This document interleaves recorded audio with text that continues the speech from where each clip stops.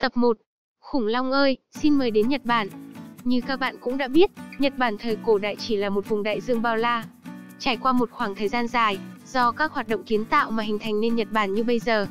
Do vậy mà ở Nhật Bản không tìm được hóa thạch của khủng long. Nhưng cậu bạn Nobita thì cứ tin rằng, ở Nhật Bản có hóa thạch của khủng long.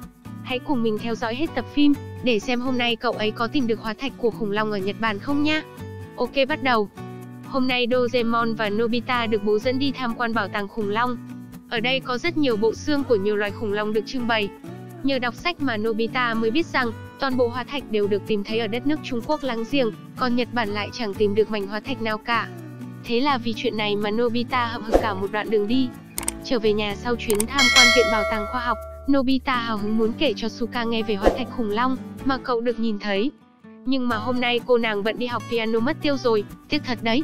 Đúng lúc này Seiko cũng chạy đến, dù Suka và Nobita đến nhà cậu ta chơi, để chiêm ngưỡng hóa thạch trứng khủng long mà bố cậu mới mua từ Mỹ về. Không ngờ Suka lại đồng ý đến nhà Seiko chơi, làm cho Nobita thất vọng tràn trề.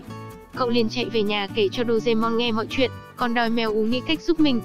Thế là Doraemon lấy ra biểu bối màu cam có tên là thuốc chiêu đãi. Chỉ cần lấy một viên thuốc rồi bẻ đôi ra, một nửa để nơi cần mời khách đến, một nửa thì để vào người mà mình muốn mời. Doraemon thử nghiệm thuốc này với ông bác đang đi ngoài đường.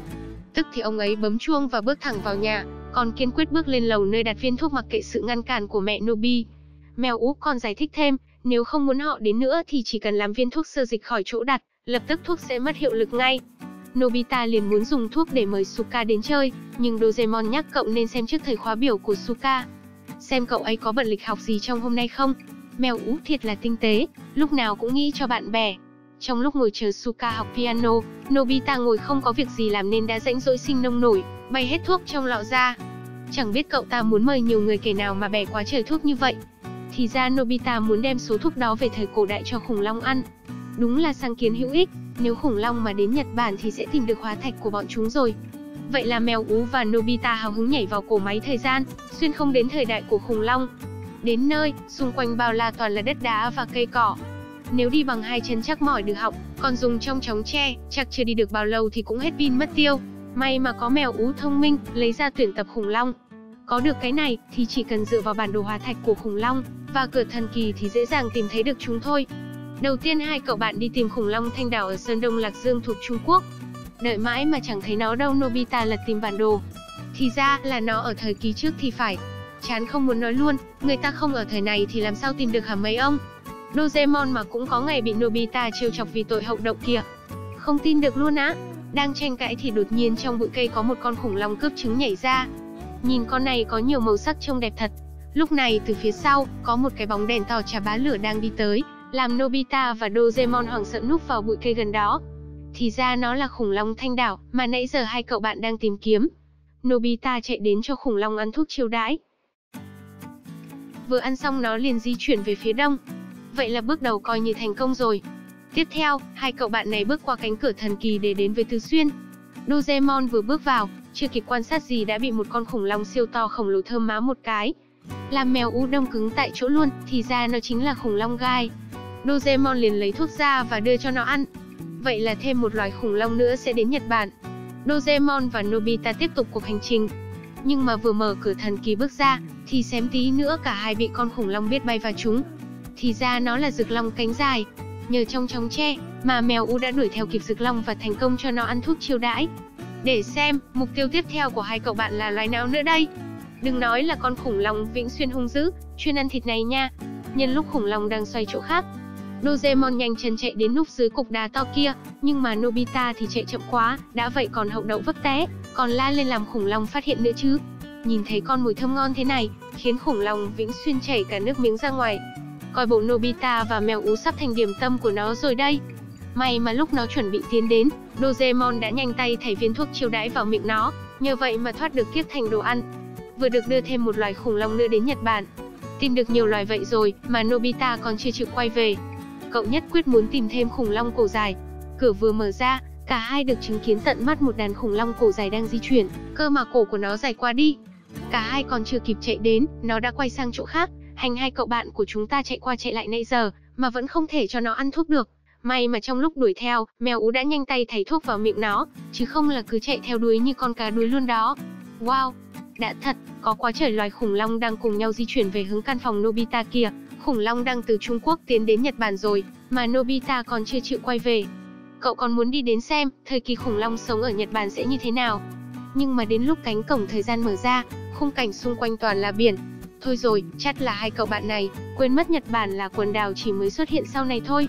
Ở thời kỳ khủng long, Nhật Bản làm gì có tồn tại cơ chứ? Còn một điều nữa là khủng long do lực hút của thuốc chiêu đãi, trên đường tới đây đã chìm sâu xuống đáy biển mất tiêu rồi. Nobita không chấp nhận sự thật nên đã nhào xuống biển, may mà có Doraemon chứ không là cậu cũng chìm xuống theo đám khủng long rồi. Về đến nhà, thế là Nobita cứ khóc không ngừng, cậu tự trách mình thật hậu đậu, đã hại chết những con khủng long tội nghiệp. Doraemon cũng buồn giàu không kém. Đang ngồi trầm tư thì mèo ú phát hiện, những mảnh thuốc chiêu đãi còn lại đã biến đâu mất tiêu. Té ra là do mẹ Nobi thấy phòng cậu bừa bộn quá nên đã dọn sạch rồi. Nhưng mà cũng nhờ vậy, mà những loài khủng long đó không băng qua biển. Mẹ Nobi đúng là cứu tinh mà. Đang vui mừng chuyện khủng long được cứu thì Suka cũng vừa đến. Nhưng cô nàng đến không phải là muốn đến chơi với Nobita, mà đến vì muốn nói lời xin lỗi, tại cô muốn đến nhà Seiko xem khủng long hóa thạch, Sukana luôn. Mém tí làm Nobita mừng hụt. Giờ cậu có muốn dùng thuốc chiêu đãi, cũng không còn đâu nữa mà dùng Nobita ơi. Lúc nãy đã cho khủng long ăn hết rồi còn đâu. Các bạn có thấy tập phim này thú vị không nào? Xem xong thì nhớ rút kinh nghiệm cho mình nhé. Khi làm việc gì cũng phải xem xét kỹ càng, đừng hấp tấp như Nobita, mà mém xíu nữa đã hại bầy khủng long chìm xuống dưới biển rồi. Các bạn có cảm nghĩ gì về tập phim vừa xem? Hãy để lại ý kiến và bình luận bên dưới. Cảm ơn các bạn đã theo dõi. Hẹn gặp lại các bạn ở những video tiếp theo. Chào tạm biệt. Tập 2.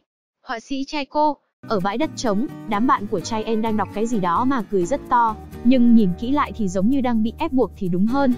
Đúng lúc đó Nobita chạy tới hỏi đám bạn đang đọc cái gì, thì trai En đưa tập truyện cho Nobita xem. Seiko nói đó là tập truyện tranh mới nhất của trai cô, là em gái của trai En, đọc một lúc Nobita bỗng cười phá lên. Trai En hỏi tập truyện này rất hay đúng không? Nobita nói rằng, không phải vì chuyện hay mà là vì nó quá tệ nên cậu ta phì cười. Nghe vậy trai tức đỏ cả mặt, liền đánh cho cậu ta một trận no đòn. Trên đường về, Nobita tự hỏi tại sao lại bị trai đánh như thế. Bất ngờ bắt gặp trai em và em gái đang nói chuyện với nhau. Trai em nói với trai cô rằng câu chuyện của em ấy vẽ rất hay, nhưng em gái phản bác rằng, thấy Nobita nói lần đầu tiên đọc một tập truyện tệ đến vậy, trai cô nói rằng em ấy sẽ cố gắng để viết chuyện hay hơn.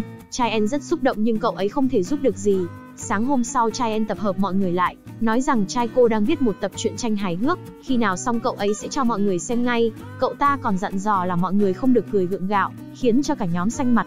Lúc về nhà, Nobita ngồi tập cười đủ kiểu như một thằng khở. Doraemon thấy vậy nên đã hỏi nguyên do, cậu ta liền kể lại chuyện hồi sáng cho Doraemon biết. Nghe Nobita cười chẳng giống thật gì cả, nên mèo máy đã lấy ra bảo bối, chiếc bụng ma thuật để giúp cậu ta. Trên bảo bối này có một cái núm chỉ cần gắng vào rốn và vỗ vỗ vào cái bụng, thì cậu ấy sẽ cười ngay lập tức, cười tới điên khùng luôn. Khi hai người đi xuống lầu Nobita nghe rằng nhà bạn của mẹ bị mất trộm, nhưng vì mèo máy vô tình chạm tay vào chiếc bụng, nên đã lỡ cười to. Thấy chuyện không ổn, nên cậu ấy liền kéo Doraemon chạy ra ngoài. Nobita nói với Doraemon là sẽ phải giữ khoảng cách với nhau, khi nào ra hiệu thì mèo máy mới vỗ vào chiếc bụng. Sau khi hai người thống nhất với nhau xong thì liền đi tới bãi đất trống. Thấy Seiko đang tập cười một mình, vì Seiko cười chả giống thật chút nào nên Nobita đã khoe rằng, cậu ta không cần luyện tập cũng có thể cười một cách chân thật nhất. Seiko không tin nên cậu ấy đã ra hiệu cho Doraemon vỗ vỗ vào cái bụng, làm cho Nobita phá lên cười đến mất kiểm soát luôn. Seiko rất ghen tị nên đã nhờ Nobita chỉ cách, cũng vì cái tính hay khoe khoang của mình không thể nào bỏ được, nên cậu ấy đã kể cho Seiko nghe về chiếc rốn thần kỳ. Seiko thấy nó rất hay nên liền giật lấy, và chạy thẳng vào nhà nên Nobita không thể lấy lại được. Trong lúc đi về Nobita hỏi Doraemon còn cái dự phòng không? Mèo máy nói rằng nếu không hay thì cứ nói thật ra, không nên lừa dối người khác làm gì. Vì giờ chiếc bụng ma thuật đã vô ích nên Doraemon liền vứt nó đi. Nobita rất buồn vì mất đi chiếc bụng ma thuật Doraemon nói rằng, đàn ông thì phải nói thật. Bita hậu đậu thấy vậy thì kéo Doraemon cùng đi tới bãi đất trống. Lúc này, trai En đang cầm tập truyện mới nhất mà trai cô vừa viết ra, ai nấy đều rất sợ hãi, tới khi trai En nói người sẽ đọc đầu tiên, thì đám bạn của Nobita lùi về sau chỉ có Nobita hậu đậu, thì đứng phía trước nên đã được chọn, vừa cầm tập truyện mà vì quá sợ hãi nên không thể đọc, sợ bị trai En đánh nên cậu ấy đã bật khóc nức nở luôn, khiến đám bạn đứng phía sau rất lo lắng cho Nobita. Lúc đó trai En giơ tay lên trời, tưởng chuẩn bị đập cho Nobita một trận, nhưng mà không, trai En chỉ đặt tay lên vai của cậu ấy và nói rằng, chuyện buồn thì phải khóc là hiển nhiên. Thấy vậy, cả đám bạn phía sau ngớ người luôn. Lúc này, trai En mới nói thêm rằng chuyện của trai cô đã chuyển nội dung, từ chuyện vui sang chuyện buồn. Thấy Nobita khóc nức nở như vậy khiến trai cô rất vui, cứ ngỡ rằng câu chuyện mình viết ra rất hay và cảm động. Đúng lúc đó Seiko chạy đến, xin trai En và cầm bộ truyện lên đọc luôn, không ngờ đây lại là một câu chuyện buồn. Cùng lúc này Suka đang đi dạo ở công viên nhìn thấy cái bụng ma thật, nên đã vỗ vào thử. Tác dụng thần kỳ khiến Seiko phá lên cười, nhưng cố gắng kìm lại. Bên này Suka càng vỗ vỗ thì bên kia Seiko càng cười sặc sụa. Mắt thấy như vậy, trai cô rất buồn và bật khóc nói rằng em ấy không có năng khiếu vẽ truyện tranh. Thấy em gái như vậy, khiến cho trai En đùng đùng nổi giận và không quên đập Seiko một trận no đòn. Ahihi.